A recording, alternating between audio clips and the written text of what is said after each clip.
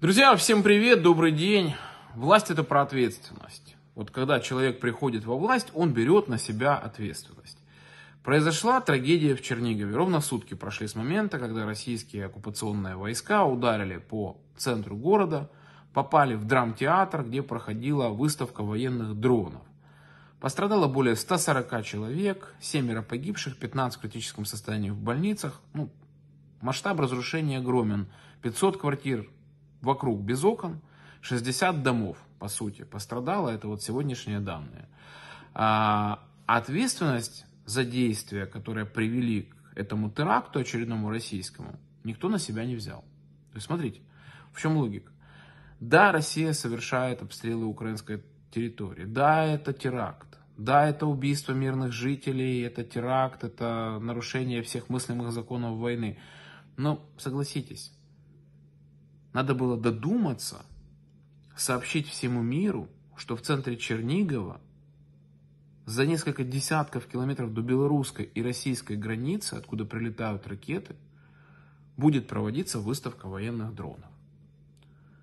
Сделали это Мария Берлинская, волонтеры Соросятина, и Черниговская военно-гражданская администрация, то есть губернатор – назначенный по линии офиса президента. Я вчера расписал видео, в котором объяснил всю, весь, весь смысл, всю суть этого процесса.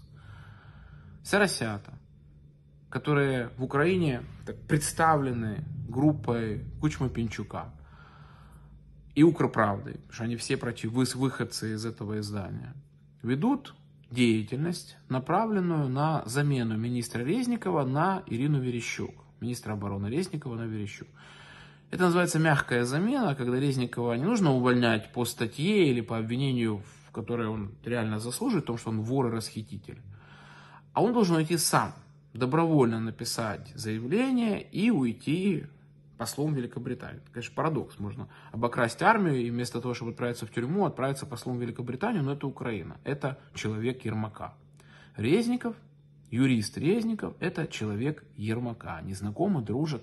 Резников прекрасно понимает, что это пик его политической и бизнесовой карьеры, потому что столько, сколько можно заработать, и сколько вот, ну, учитывая вот эти коррупционные скандалы, о которых мы только знаем, это питание армии, закупки амбунирования, он не заработает нигде, но жопу ему прикроют. Поэтому он держится за эту синекуру как можно дольше, потому что каждый день это копейка.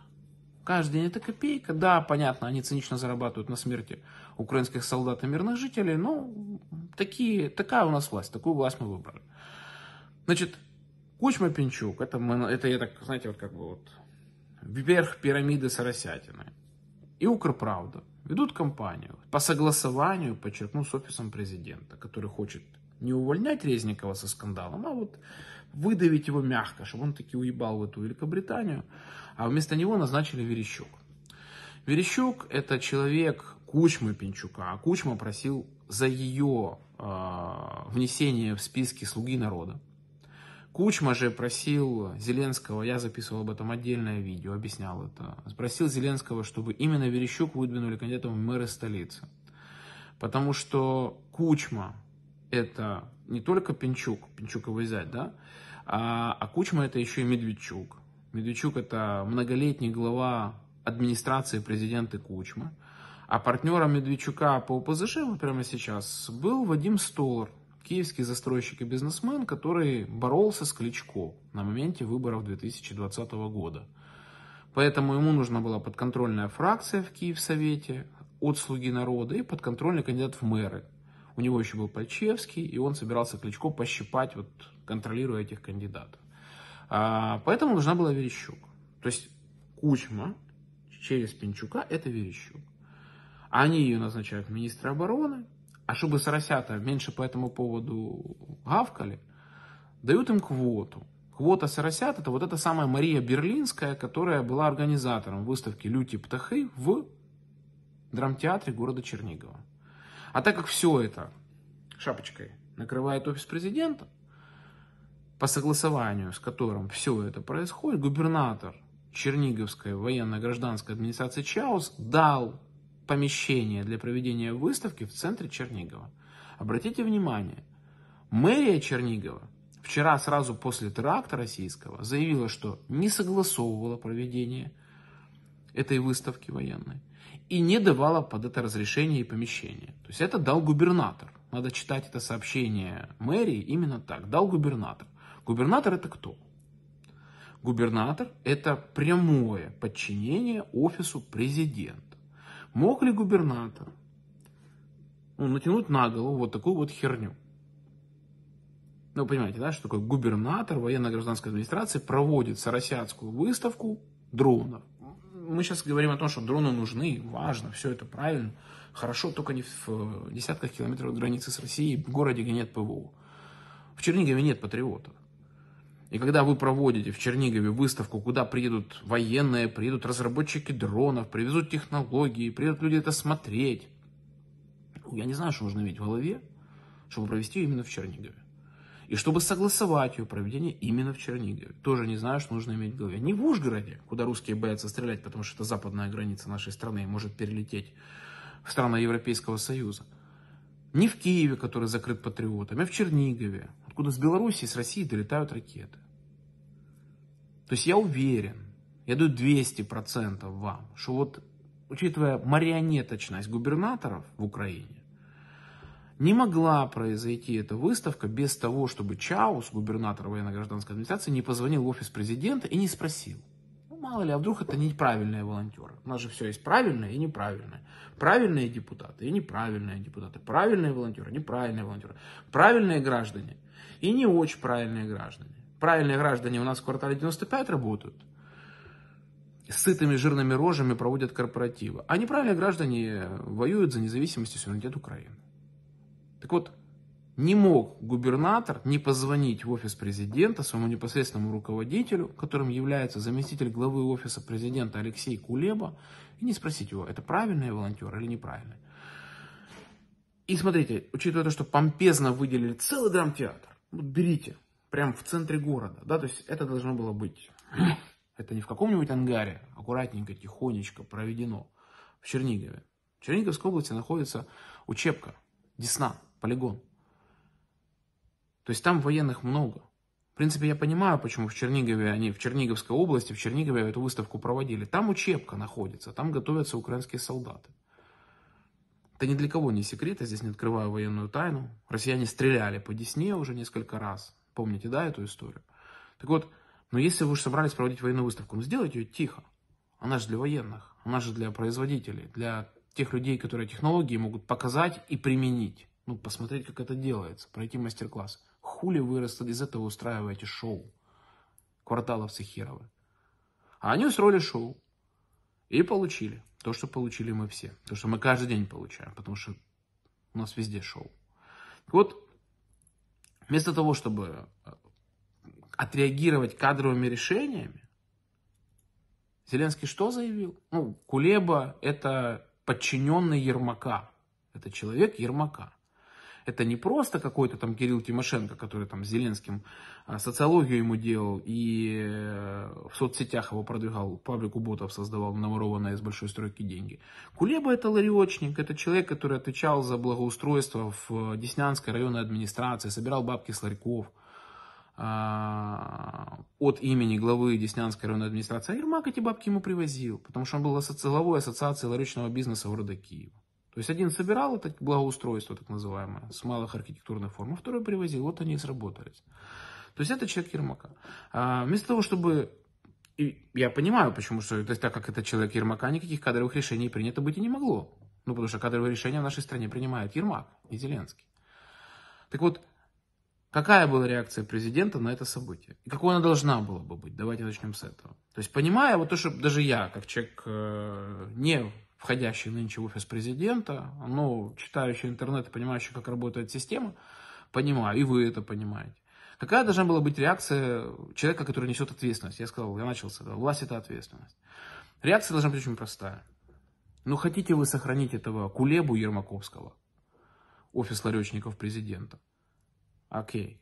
Ну, ваше право, имеете. Если вы считаете, что люди, которых не хватает мозгов понять, что военная выставка на границе с государством-агрессором недопустима, а, и проводить ее в центре города недопустимо, и не предупредить об этом людей, о том, что сегодня могут быть удары, сидите по домам, если уже вы такую выставку проводите, недопустимо. Ну окей, ну вам похер на всех. Ну окей, оставьте свою кулебу себе. Но губернатор должен быть уволен. Потому что это его непосредственная функция. Он губернатор военно-гражданской администрации. Это не хозяйственник. Это губернатор военно-гражданской администрации. То есть он военно-гражданская администрация. Он отвечает за безопасность людей в городе и в области. Если этот человек, отвечающий за безопасность людей, выделил под военную выставку место в центре города, где люди гуляют семьями, и они же, блядь, не с луны упали, эти все губернаторы, они же там находятся, надеюсь. Они же понимают, где это вообще что вокруг этого здания ходят люди, там место народных гуляний, суббота, утро, спас, пум. Значит, что я прочитал? Видосика не было, я думал, будет видосик. У нас э, вот этот вот режим, я его называю режимом злобного лицедея, э, вот режим злобного лицедея, который олицетворяет Зеленский, он очень хорошо умеет надевать маски скорби, вот это вот, да, там, маски справедливости, вот это вот фильтр у него там офис фильтров. Вот фильтр, я думал, что будет сегодня маска скорби, значит, справедливого гнева. И мы посмотрим видосик о том, как мы отомстим. А, за то, что сами, собственно, своими руками сотворили. Так вот, видосика не было. Видно, из Швеции не сильно удобно его писать, где находится сейчас Зеленский с Ермаком. Поэтому была запись в телеграм-канале. И в телеграм-канале нам сообщили о том, что мы теперь, мы ответим. Ну, во-первых, мы отвечаем каждый день. Я хочу об этом напомнить президенту, его офису, его пиарщикам. Украинские войска каждый день отвечают агрессору, отвечают достойно.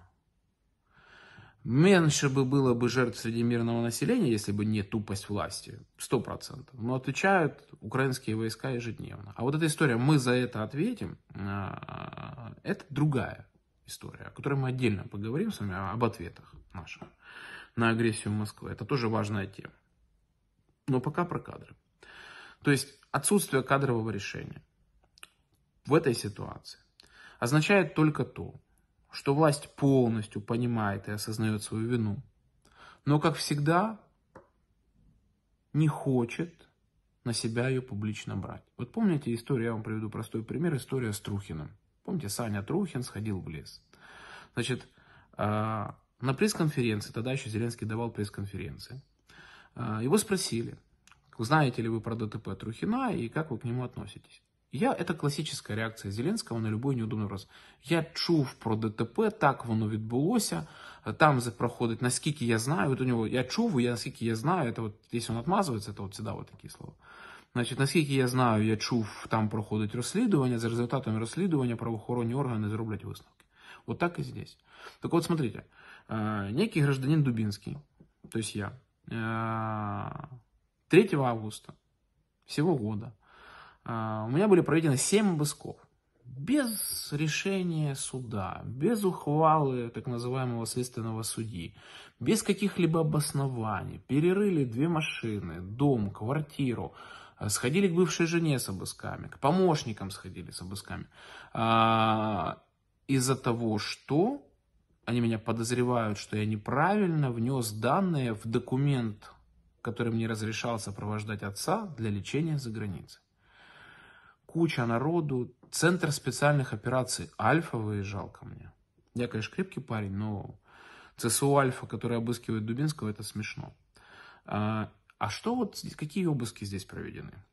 Вот смотрите, подставили 140 человек в разной степени пострадали, в больнице, ранены, оставили. А еще сколько людей остались там, условно, потеряли возможность нормально жить из-за того, что повыбивало окна, пожары, крыши погорели.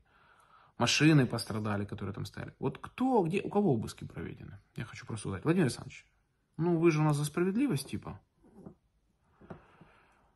У кого обыски проведены по делу о есть статья уголовная о в опасности человека, да, а в данной ситуации о создании опасности для мирных людей, проведение военной выставки в центре города Чернигов в непосредственной близости от государства-агрессора. У кого проведены обыски? Сколько подозрений подписал ваш ручной генеральный прокурор Костин по этому делу. Сколько электронных браслетов надето на вот этих всех соросят, которые ради того, чтобы умастить свою жопу в кресло заместителя министра и прикуривать с программой на производство дронов, с покупки обмундирования, с питания на армии, с юридических услуг на армии, всем остальном сколько? Нисколько. Почему? Потому что Владимир Зеленский – это олицетворение пословицы «друзьям все, врагам закон». Только когда эта пословица реализовывается в мирное время, на это еще можно хоть как-то смотреть сквозь пальцы. А когда в военное из-за жадности, тупости, циничности и непрофессионализма и бездарности власти погибают вот так вот мирные люди, а власть даже ответственность на себя боится взять, этого терпеть нельзя. Поэтому, друзья, смотрите, как, бы, как оно на самом деле все происходит, и поймите, нам крайне нужны выборы. Нам крайне нужны выборы в парламент, и нам крайне важно добиться, чтобы в следующем году, в марте, произошли выборы президента. Произошли, потому что вот я считаю, это мое личное мнение, что тот формат, в который превратил президентскую власть в парламентско-президентской республике Зеленский, недопустим. Потому что вот из-за этого происходят такие трагедии, как происходили в Чернигове. И никто за это не несет никакой ответственности. Подписывайтесь на канал Дубинский в Ютубе, Дубинский Про в Телеграме, Инстаграме, Фейсбуке, Твиттере. Поставьте лайк, напишите комментарий для продвижения этого видео. Помните, только выборы, демократические, прозрачные и честные, помогут нам поскорее поменять власть и хоть как-то изменить ситуацию. Потому что эта власть безнадежно больна. Пока.